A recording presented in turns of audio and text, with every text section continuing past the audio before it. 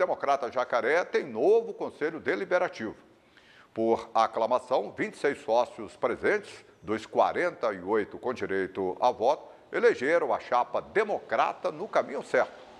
A Assembleia Geral Ordinária e Extraordinária para eleição e posse aconteceu na última segunda-feira, na Arena do Jacaré. O novo conselho já trabalha para organizar a eleição, que vai apontar o presidente da diretoria executiva. A expectativa é que a reunião do Conselho Deliberativo aconteça ainda em novembro.